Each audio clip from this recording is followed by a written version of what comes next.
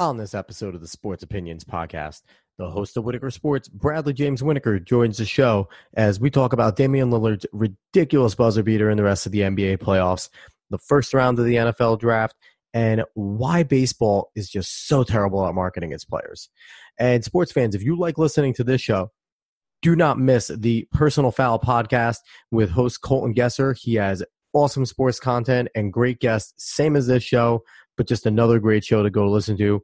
And also, if you are a mega sports fan, go to www.overtimeheroics.com slash forums to participate in great sports forums with other awesome like-minded sports fans. So without further ado, cue the intro.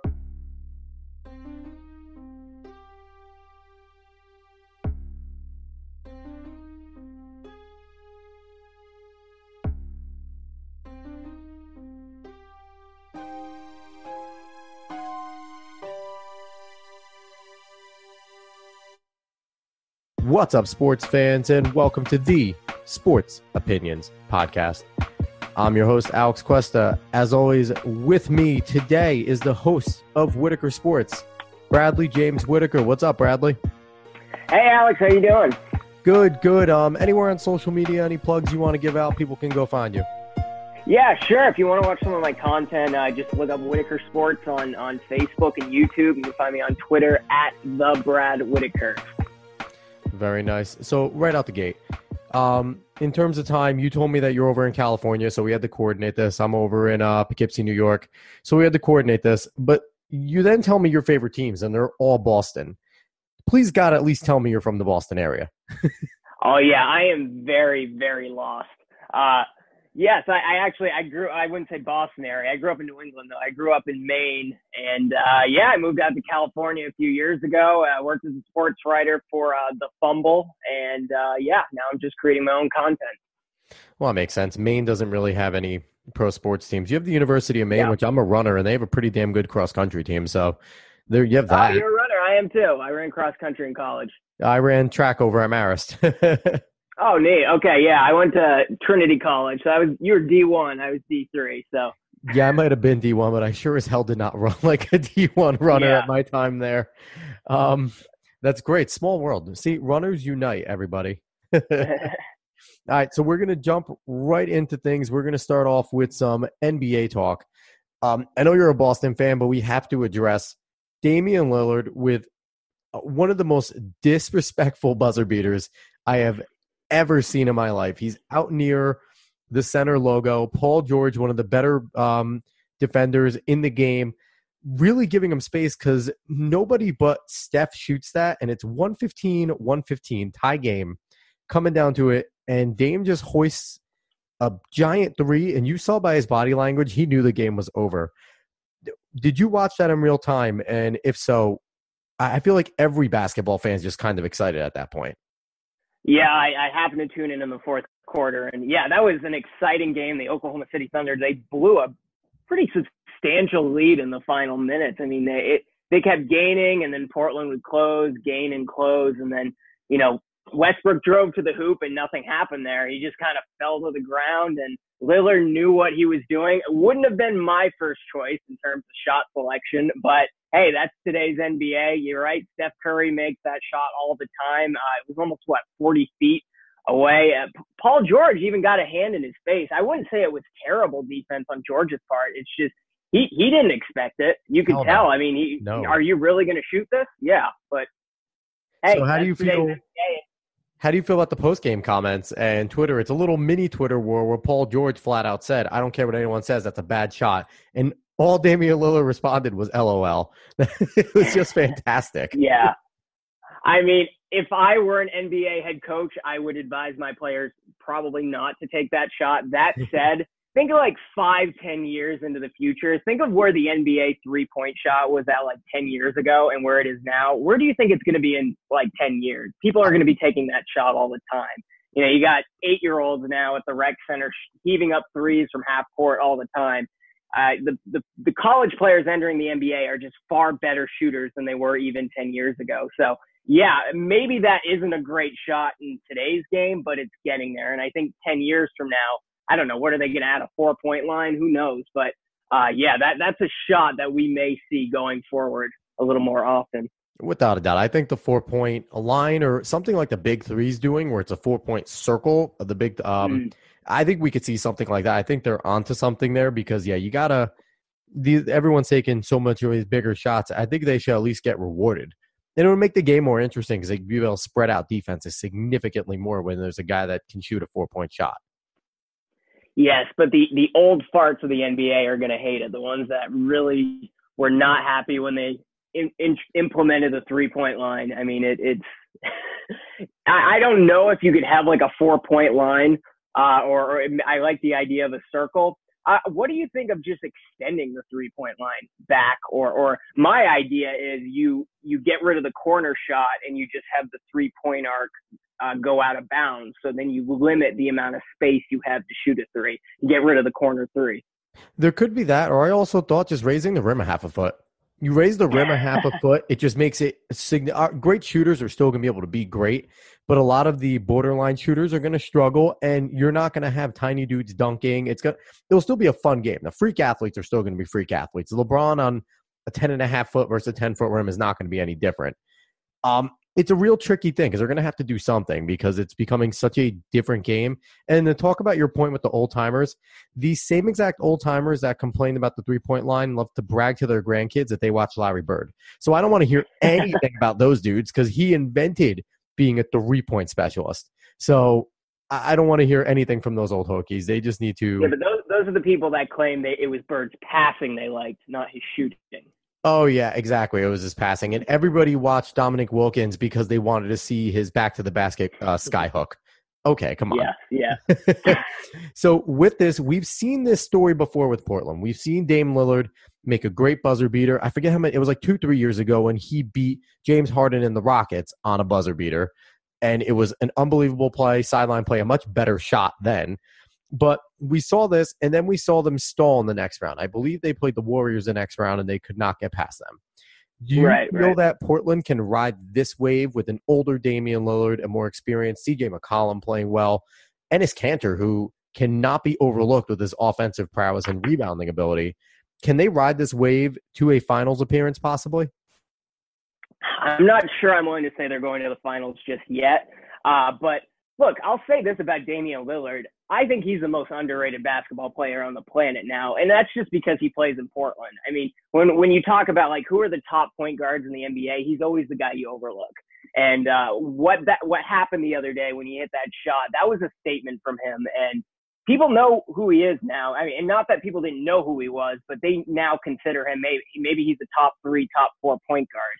Uh, but to your question on the Trailblazers, I, they have a good roster. I mean, it, it's easy to overlook. You know, eh, they have Kanter and yes, McCollum and Lillard, but you know, there's a lot of good players on that team. What uh, Nurkic, uh, uh, Seth Curry's there now. I mean, that, I'm not saying they're going to beat the Warriors. I, I don't think they will. Uh, the Warriors have to get there first, obviously, but uh, it, that is a potential six or seven game series for sure. And you, you've heard the guys on NBA on TNT three, four months ago, they're saying Portland's going to the NBA Finals. Now, I I tend to take Charles Barkley's predictions with a grain of salt, but they are a really strong roster, and I, I think they'll get through the next round for sure. Yeah, they're they're definitely riding a wave. Now we're going to go right into your wheelhouse. Um, a team in the East that has definitely uh, finals expectations. It's not mm-hmm. even that they want to get there; they believe they should be there. Your Boston Celtics. Um, Kyrie Irving is undoubtedly the leader of that team. And you know, it's it's funny in playoffs because you can have great rosters. And when Kyrie was hurt and Hayward was hurt, we saw guys like Jayson Tatum and Jaylen Brown really step up in the playoffs and play very well for Boston. But now that Kyrie's there, he is the guy. And you notice superstars come playoff time, and he is a bona fide superstar. Is he going to be enough to get the get Boston past the next round right now when they're playing Milwaukee with Giannis Antetokounmpo, Khris Middleton, Brook Lopez just looking like the real deal. Can Kyrie do enough to build his team up and build these young guys up and win yeah. this without Marcus Smart and with Scary Terry having to step up? Mm-hmm. Yeah, I mean, here's the, the issue with the Celtics isn't talent. Um, I, in fact, I think their greatest strength going into the regular season this past year was depth and that was probably also their greatest weak- weakness because yeah, you mentioned last year Tatum and Brown and Rozier, all those guys carried the Celtics almost to the NBA Finals. They they made it to a Game Seven there against the Cavs, and they they really stepped up, and that was an exciting time. And then they had to take a step back suddenly this year because Gordon Hayward was healthy now, Kyrie was back healthy again, and you saw they had a lot of chemistry issues. You know, Kyrie didn't handle the Boston media very well. There was a lot of he still you know, does not yeah, no, he doesn't. I, I, and he always loves to talk about leadership when he doesn't actually act like a leader in real life. um, but again, I have a very love hate relationship with Kyrie Irving. You know, I will every game I tweet, I take back everything bad I said about Kyrie Irving. Uh, but this this is a team that certainly can match the talent and the players that the Milwaukee Bucks have. Um, I think going into the season, everyone picked the Celtics to to come out of the East, and then they kind of forgot about them because you know the Raptors brought in Kawhi and they were very exciting. And you saw what the Bucks did, and then the Sixers brought in Jimmy Butler. They've had their issues, but they still finished ahead of the Celtics. Uh, but now you're seeing now that we're into the playoffs, I actually think not having Marcus Smart has helped a little, even though he's obviously tough to lose on the defensive end. I think it's really helped players like Terry Rozier, players like Jaylen Brown, because they're getting a little bit more minutes than they were getting in the regular season, uh, and important minutes too, obviously. So I think those chemistry issues are solving themselves. Uh, that said, Milwaukee is a tough place to play. They have home court advantage. I, I have a feeling Milwaukee's going to win game one. Uh, they they have Budenholzer as their head coach now, and and you know he he's has some experience. So I, I think the Bucks will at least win the first game, perhaps even the second game. But what we've seen with Brad Stevens over the years is game to game, the more information in the playoffs he gets about uh, gets on the other team, the better they perform. Uh, because he's that kind of a coach. He's he's he's like an NFL coach. He's able to prepare game to game better than any coach in the NBA. And uh, I think that's going to be a significant advantage. So my prediction going out on a limb, I think the Celtics are going to lose the first two games and win the next four games. That is a bold prediction. And yeah, Brad Stevens is an absolute beast. And just two things. One, I'm a Brooklyn Nets fan, so I have no no love for for the Celtics. But I do have to say, I am a scary Terry fan. I think Terry Rozier deserves more minutes. I really like what he brings to a team, and I'm kind of happy that he's going to get more run in this playoffs. And number two, I'm, I just have to apologize. Being a Nets fan, I have to root against you guys this series because Brook Lopez is over there in uh, Milwaukee, and I just want to see Brook play in the championships. He deserves it. He struggled with my terrible Nets for so many years, and now that the Nets are good, he's on a better team, and I'm happy for him. So, um, I like your prediction because I really can see the Celtics, you know, kind of adjusting, figuring it out. And I can't wait to see ESPN blow their lids of how Kyrie's terrible, Gordon Hayward's this, and then all of a sudden they go on a run. Because people forget yeah, Al yeah. Horford is such a cog in that team.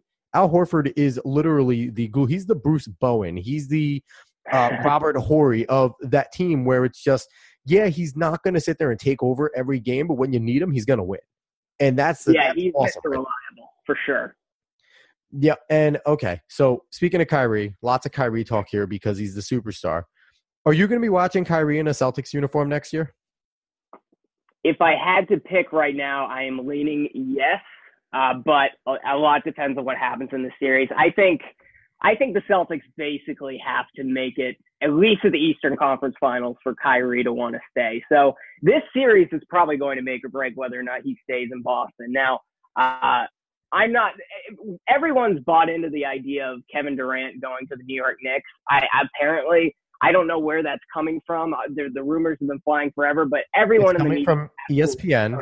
It's coming from yeah. Stephen A. Smith. It's coming mm-hmm. from that think tank of let's drum up as much rumors about the Lakers and Knicks so our ratings go up. That's all it's coming and, from, honestly. But we go through this every offseason with the New York Knicks. It, it, Knicks fans, maybe it's because they live in New York and they think everyone wants to be in the Big Apple, that every superstar wants to go there and play for their team run by James Dolan. And it it just doesn't happen. Free agents don't pick New York. They haven't picked New York in a very long time. I mean, maybe you'll get Kemba Walker. Maybe Kyrie will choose to go there. I, I would. I mean, I would. You're a Nets fan. I would choose the Nets over the Knicks. Why would you want to go to the Nets with Absolutely. all their dysfunction? I do have to say though, the one thing is that the Knicks, what they have going for them is they actually have true leadership in Scott Perry and Steve Mills now. They are mm-hmm. legitimate basketball guys. You can see that they are running it better organizationally. Yeah, this year was a tough year, but you know what though? They got rid of Porzingis, which I don't think is a bad thing in the long run. You yeah, let your young, yeah, you let your young players get runs. You bring in Dennis Smith Jr. with a chance to revive his career. He had some good play for the Knicks late, even though they lost. So there are things working there. And being a Nets fan, I see what they're trying to accomplish. It's just that the fans in Manhattan need to be patient, and I don't know if they're capable of being patient. Yeah, yeah, and look, it's the Garden. Everyone loves the ambiance. They love the atmosphere, and it would be great for the NBA if the Knicks were good. And if the Celtics lose Kyrie, it just means they can throw a little more money at Terry Rozier, maybe sign somebody else. Uh, so it's not like they're going to be terrible if they lose Kyrie Irving, and we saw what they did last year. Uh, it would be good whether Kyrie goes there, whether it's Kevin Durant or Kemba Walker or some combination of the three. Uh, yeah, it would be. I want the Knicks to be a good team, but this idea coming from Knicks fans that every free agent wants to play for them, I need to see some evidence first. I want the Knicks to be good, but I want the Nets to be better. So I want them to get better superstars than the Knicks do. so admit you admit that the real reason you don't like the Celtics as a Nets fan is because we fleeced you with that Kevin Garnett, Paul Pierce trade all those years ago. In retrospect and in real time, it was a fleece. But I will always defend. I'm I am not a fan of Billy King, not one bit. Mm-hmm. But with the way Mikhail Prokhorov came in, it was either he made that deal or lost his job anyway. He was demanding right. blood. He was demanding results. He wanted the back page and that was the best offer that Billy King was going to find to bring in the biggest name. So was it a terrible deal? Yes. But was Billy King up against the gun anyway? And Danny Ainge is a freaking shark in the water smelling blood like he always is. you know, I, I can't defend the move completely, but I see why Billy King did it because he was going to get fired and someone else was going to make a similar move. Either way, the Nets were yeah. going to get a move like that. So and that roster on paper looked great. It's just you added an extra year to Paul Pierce and Kevin Garnett, and I think that's what ultimately made the difference. Well, it was Deron Williams. If Deron Williams is the mm-hmm. Deron Williams of Utah, or even in his first two years in New Jersey, or the first year right. in Brooklyn, if he's that Deron Williams, if he is the top 10 player Deron Williams, the oldness of Garnett and Pierce don't make a factor. But the fact that mm-hmm. they needed to rely on those two so often to help Joe Johnson, Brook Lopez win games, because Deron Williams would go into a shell and have six points and eight assists, but nothing else. Like that was the issue. It was it was all on Deron Williams. I'm not trying to hate so on him, but it was, was him. Was it just he could hand he could handle the pressure in Utah, but once he went to the Big Apple, it just was not the same? Or do you think he was just aging? It was his ankles. He had terrible ankles. Mm-hmm. He had to mm-hmm. get constant shots in his ankles, and you can see he couldn't dunk after he had to constantly get spurs shaved down, and that was always reported. He had, he got orthoscopic surgery. He's going to miss two games, and this and that, and that was constant throughout his tenure in Brooklyn. And he couldn't dunk. Deron Williams was yeah. a dunker. He was a slasher. He was a high riser. He became a three point shooter, which was not his game. So that was Deron Williams' issue, and mm. you know, and you saw it even after he left the Nets. It didn't do anything. He was never the same. So, but uh, I, I, don't want to talk about that point in Nets history. This point in Nets history okay, is great you're moving on. You guys have yes. draft picks now, so that's yes. Good. But we're switching gears out of basketball. We're jumping into football right now. It is the 26th of April. It is a second round going on as we do this, but we're going to talk some first round. Um, do you have any surprise picks coming out of the first round that you saw um, last night? Yeah, Daniel Jones for the New York Giants. I have no idea where that came from. They they probably could have waited uh, what did the Giants? They had the sixth pick and then they had the 17th pick. They probably could have waited beyond the 17th pick to pick Daniel Jones. I don't know why they picked him other than the fact that he looks and plays sort of like Eli Manning. He was my uh, number was five pick, my number five quarterback ranking, not pick, number five yeah. quarterback out of all of them. exactly. Yeah. So there's all these players on the board. I mean, Haskins could have gone before him. He should have gone before him. Uh, but yeah, I, I heard. I, what was it? Sal Paolantonio talking today. I think he said that the Giants expect Eli Manning to play another three years. Yeah, and, and you're going to make this kid. Why would you select this number six pick to sit for three years? That makes no sense. None. And not to mention, Josh Rosen is available for a trade, and it sounds like the highest offer teams are getting is like a second or a third round pick. So I mean, I would have in a second traded that number six pick for Josh Rosen. I mean, he what was he drafted second or third overall last year? I mean, you he's the guy. He he has one year of experience. Nobody uh, other than maybe he has a little bit of attitude issues. Everyone thinks he's going to eventually be a star. I mean, the New England Patriots are talking about trading for him. He just has Why? some injury history. That's what scares you. He's undersized. He has some injury history, but in terms of ball skills, he has everything there. Yeah, he has everything there. He's smart too. I think what was he the highest scoring Wonderlic uh, quarterback last year? He was in the top there at least. Yeah, and there's always uh, that dumb concern that oh he might not be fully into football because he has other interests. Like, are you kidding me? He's not allowed to be a human. like.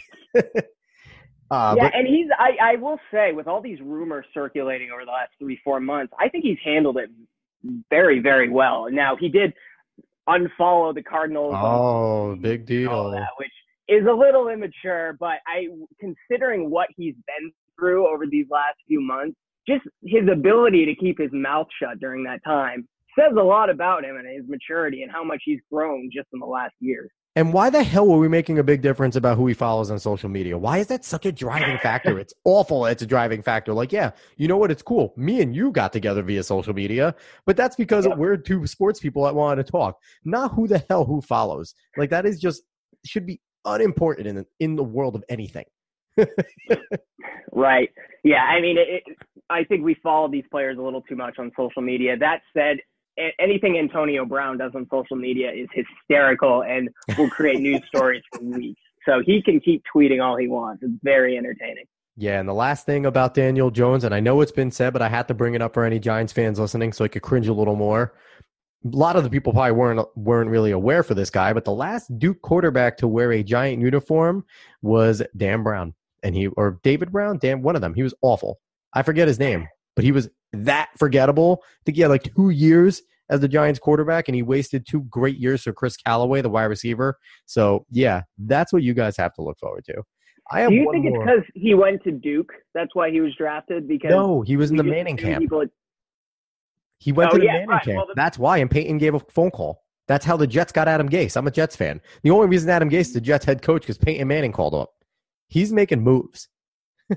Why are they make, taking orders from the Mannings? I mean, look, the Mannings, they have a great reputation, but they're not general managers. They have no track record of being general managers. Why are they, you know, it's just, I don't, if I ran the New York Giants, I would have gotten rid of Eli Manning three years ago. I was saying we should take him three years ago. Why is this still going on? I, I understand the Super Bowls, but look, as a New England Patriots fan, I'm willing to admit those Super Bowls were not won because of Eli Manning. They were won because of the New York Giants defense. Eli yeah, Manning made a few plays. Yeah, he made yeah. a few plays, but he wasn't the focal point. No, I really think it's a weird theory of mine, but it's been going through my head. I feel like these teams my Jets, Giants, anyone else that takes these notes from Peyton are doing it because they are hoping that keeping this tie to Peyton may one day open up a door to bring him in as a GM, as a coach, as a football personnel guy, because he does have a great football mind. So I think they're just trying to keep a close tie to him, but it could cost them their franchise for a few years. So it's a really big gamble. Yeah, I, I, am not sure it's worth the risk, especially because, look, Peyton Manning, I, am sure he would make a good general manager, but we just don't know that. I mean, he could go yeah. in there and be terrible. He yeah. could be Phil Jackson. You never know. Well, I think Peyton would care. Phil Jackson just did not care. right. But I have another surprise pick, and it's a surprise, and it's not as negative as people are making it out to be. Um, mm-hmm. In the number four slot, Oakland select Clelin Farrell, uh, defensive end from Clemson, and it fills a need. They needed a rush end. Khalil Mack's gone, so they wanted to get him. But the thing is, Josh Allen was still on the board, and everyone right. was sure that it was going to be Josh Allen. Now, don't get me wrong, Ferrell is a hell of a player. He's a very good player out of Clemson. Played high level in the ACC. It's not a bad pick, and I feel like he could develop very nicely. But it's kind of a head scratcher when you know that Josh Allen is there. They did make two other good picks. They got themselves a running back and I think a safety. So Oakland's doing well. But that was a little bit of a head scratcher. It's not as much of a surprise and not as much of a terrible pick as Daniel Jones, but it was still a surprise. Yeah, I mean, generally speaking, I like what Jon Gruden has done this offseason, despite all the issues with his scouting department. But uh, yeah, it sounds like from everything I've heard, they could have gotten Ferrell later in the draft, or at least traded back or something. And yeah, I, they could have gotten Josh Allen, they could have gotten Rashan Gary. Uh, were some other uh, LJ Collier, all sorts of players that probably should have gone ahead of him. Uh, but look, hey, I'm not going to question Jon Gruden. He, he's he's a character guy. He likes guys who work hard, that are big, that are tough, that can beat players up on the field. So hey, maybe he's just a Jon Gruden style player. But yeah, I if I were them, I would have traded back. I mean, why waste the fourth overall pick on that when you can probably get him later in the draft? Well, Gruden probably figured that he has like every other pick in the draft, so he might as well use that one. um, so we're gonna jump in. Uh, best pick. I'm gonna go in real quick. I don't have a singular best pick. I thought a team did well in the first round. Um, the Packers had the number 12 and the number 21 pick, and it's funny you brought up Rashan Gary because I thought they did a good job in the first round of getting two guys that could be centerpieces on their defense, which was weak last year. Um, mm-hmm. Gary, edge rusher from Michigan, he's a little undersized, but if he develops, he can be very good for them. And they fill the fact that they got rid of Ha Ha Clinton-Dix by getting Darnell Savage, who isn't a household name yet, but being a Jets fan, I have Jamal Adams. This kid plays exactly like Jamal Adams. He's downhill. He is a hitter. He can blitz come off the edge, but he can also cover in the slot, which is a little bit more than what Jamal Adams has shown to do. He's not a great slot cover guy. And he ran a 4 3. I thought the Packers did really well to shore up their defense. Do you have your best pick at, at all there? Well, I'll, I will talk about the Packers because uh, something that people aren't really talking about. In the last three drafts, I think it was, maybe even the last four years, in the first two or three rounds, the Green Bay Packers have picked nothing but defensive players. So this idea that they're just not trying to give Aaron Rodgers the defense he deserves. It, they clearly, with their track record, that's what they've been trying to do. The question is, are these slam dunks? Are they going to keep striking out? Uh, but at least they're making an effort. Uh, uh, there's so all the pressure is still on Aaron Rodgers. Now I know there's going to be blame going around. Everyone wants to blame everyone but Aaron Rodgers. Uh, but Green Bay really is devoting all their time and effort towards beefing up that defense we'll see if it works. But you know, I really like these two picks. I really like. I think Rashan Gary at twelve is a good value, and I think Savage at twenty one is a very good value as well. Yep. All right. So who do you yeah, got I, as the best I, pick here? Mm, well, as a homer, I'm going to pick N'Keal Harry, New England Patriots, the wide receiver they got out of Arizona State. Now, I will admit I wasn't watching Arizona State football games all the time this past season. Uh, but uh, they got off to a good start, and I did see that number one receiver out there, and he really is physical. Uh, not the fastest receiver on the board, but he's the kind of guy that when Brady is feeling pressure, he can just throw it up in the air, and Harry can catch those 50-50 balls. So look, Patriots, they lost a lot at wide receiver this past year. Obviously, Gronk's not coming back. I think they it's unusual for Bill Belichick to draft a wide receiver in the first round, but it's also unusual for him to draft a running back in the first round. And he picked up Sony Michel last year, so I, it's it's interesting because as NFL teams all start to do one trend, Bill Belichick does the exact opposite. So eh, Belichick would never draft a running back or a wide receiver early, and other teams started catching on and realized, hey, maybe we should draft offensive linemen. Maybe we should focus on our defense more than these these skill positions. And because of that, now suddenly you're seeing the receiver and the running back position undervalued going into the draft. And another thing is teams over these last couple of years have really spent a lot of money on free agency.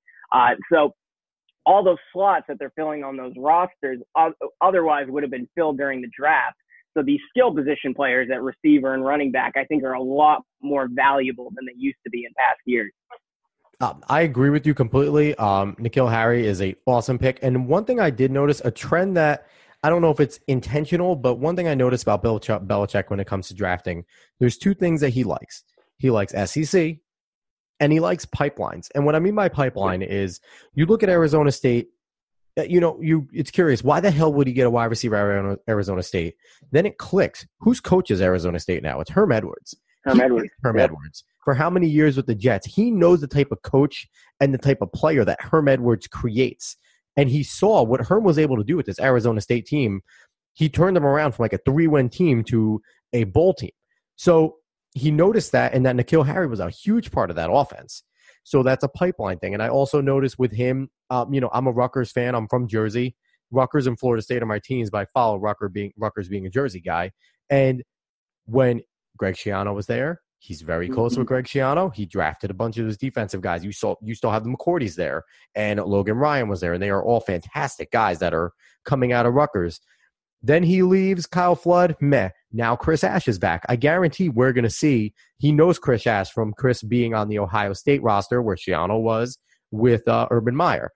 These are all pipeline things. I guarantee you're going to see him draft at least one Rutgers either player or defensive player in general from this draft because I think he's very big on pipelines and going with what he knows. Oh yeah, he loves Rutgers, and he, you'll notice these last few years, he Bill Belichick has been very heavy on networking with Kirby Smart, with Nick Saban, with mm-hmm. Urban Meyer, and they're bringing in players from those uh, uh, programs. So yeah, I, Bill Belichick definitely is forming those relationships. He's, he's friends with Herm Edwards, so you're you're right. That's probably the reason why they picked Harry uh, with the the last pick of the first round. Without a doubt. So, uh, second round of drafts going on right now. We're not really going to touch on that, but there's a lot of good picks going on still, and you know, it's just the draft is just a lot of fun. I love the draft. I love everything about the draft, and the NFL does it better than any other league, and it's the longest one. So go figure. Um, we're going to jump into baseball real quick. And you had a pet peeve with baseball that I think everyone sees, and I don't know if there's a solution. But when people think of Major League Baseball, sadly enough, and not to offend any of my Phillies fans, friends, they think of Bryce Harper. They have mm-hmm. no idea that the Mickey Mantle, Lou Gehrig of our generation is playing on the Angels, unless you like baseball yeah. and sports. Mike Trout should be LeBron James. He really should. Mm-hmm. He is just a monster.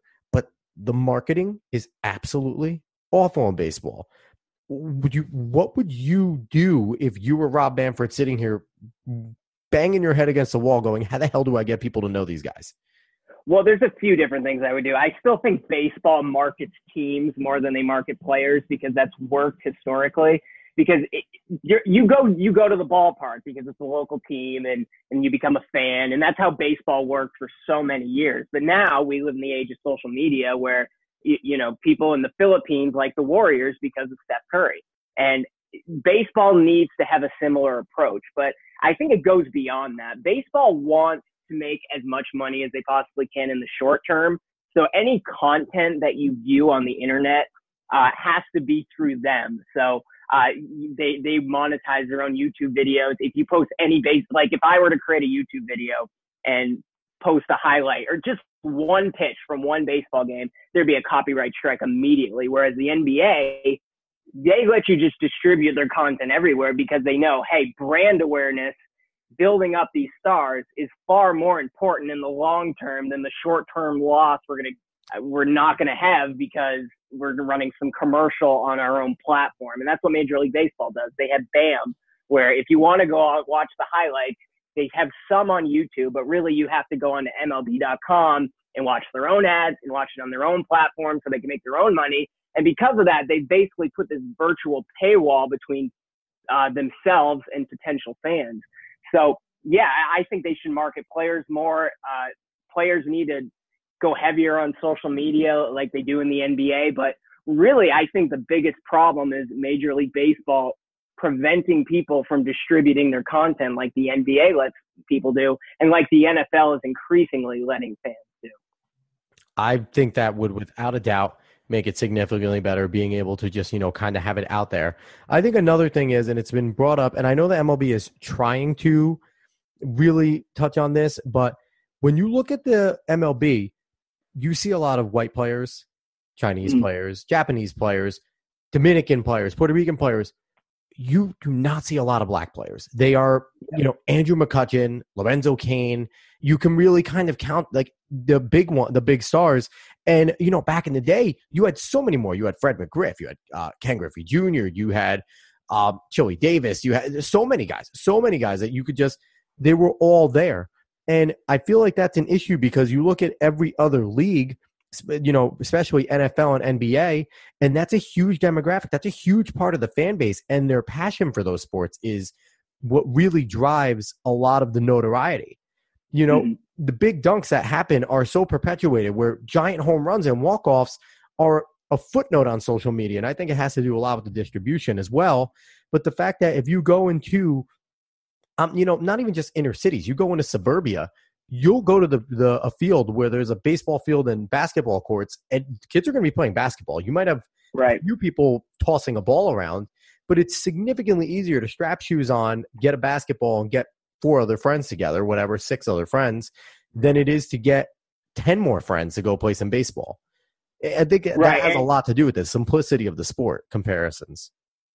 Yeah, and, and look, I don't think anyone's played stickball for about 40 years, but yeah, 15 years ago, if you uh, you would have seen people playing wiffle ball at those parks, whether it's in a city or in a suburban area. And yeah, I think it's going to get worse because the players that are entering the majors now, they were young, they became fans in what I think is the heyday between you know 1998, the McGwire Sosa era, and 2004 when the Red Sox won and the Yankees dominated during much of that time. That seemed like the heyday of baseball in my lifetime. And you're starting to see a lot of talent coming in from people that grew up with that. But now you're seeing kids, kids aren't watching baseball now. So where's that talent going to come from 10, 15 years from now? I don't see it. Neither do I. And I also like, you know, a lot of just like little dumb controversies and little minute, minute things I think drive people off, like Hall of Fame voting all you hear is complaining about baseball Hall of Fame voting, just how right, bad right. it is, and how, you know some unwritten rules. I've ripped on unwritten rules where a guy can't show emotion after hitting a home run. People want to see that. We love the NFL because we watch Deion high step. You know that's what really got a lot of people into it. They took away celebrating.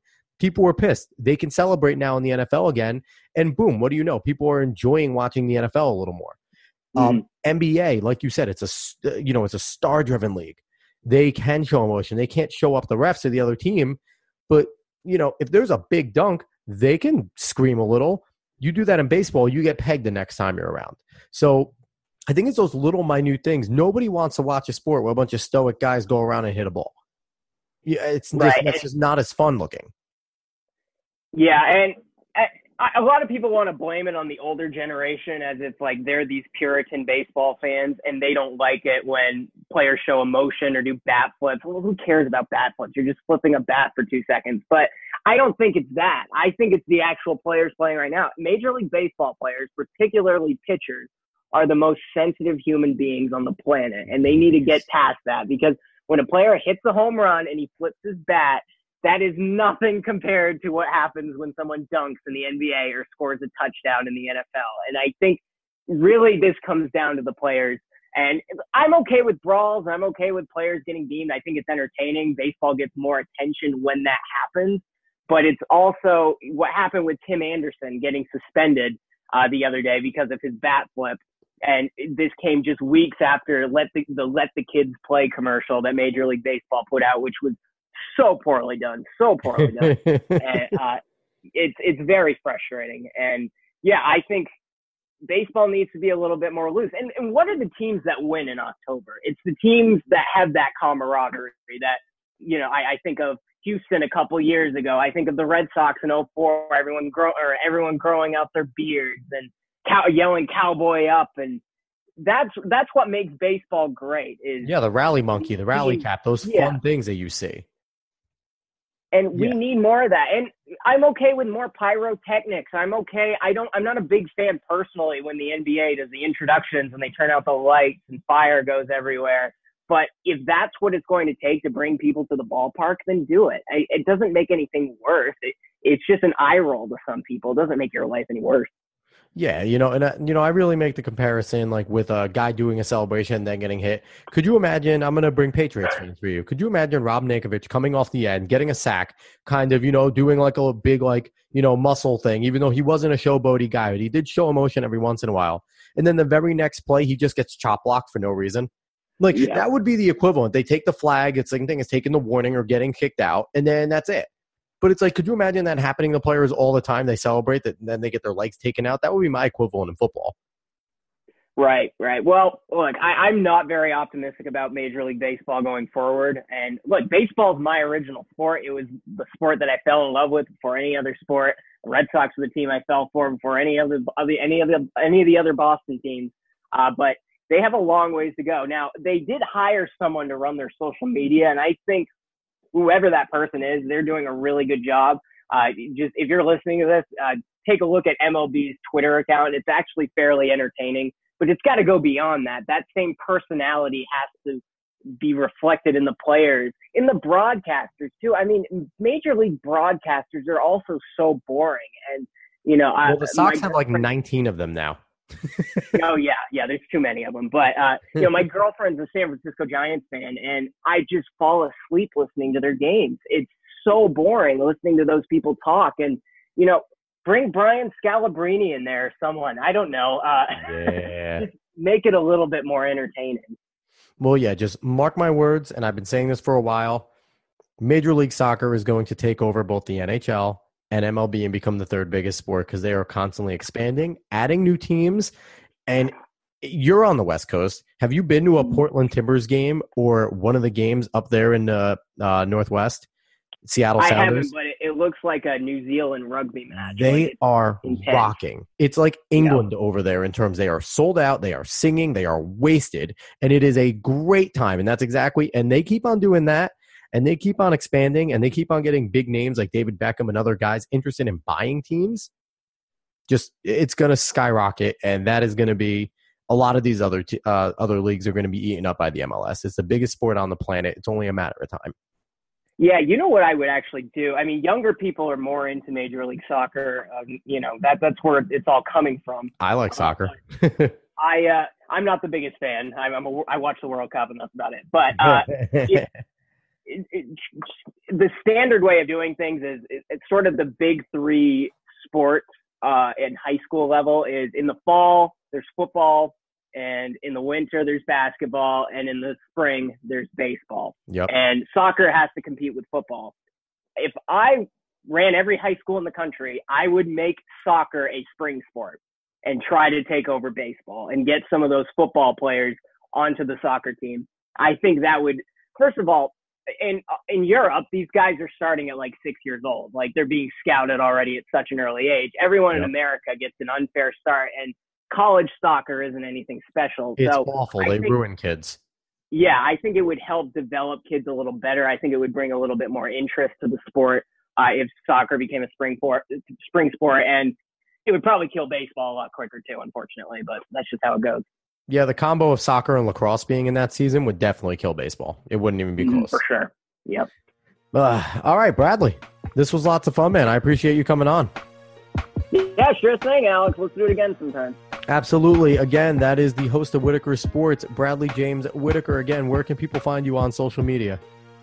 Uh, just look up Whitaker Sports on Facebook or YouTube and uh, on Twitter. My handle is at the Brad Whitaker. The Brad Whitaker. I'm not some imposter. I am the Brad Whitaker. Awesome. And again, I'm your host of Sports Opinions Podcast, Alex Cuesta. Find me on Twitter and Instagram at A underscore Cuesta 30. Find Sports Opinions on Twitter at Sports Opinion 30. Instagram, Sports Opinions 30. Visit the Facebook page and type it in on the Google machine, Sports Opinions Podcast, and it will pop up. Or any of your favorite places to listen to podcasts, you can find us. Uh, once again, this was a Sports Opinions Podcast. Bradley, I really appreciate you coming on again. Everybody, have a good one.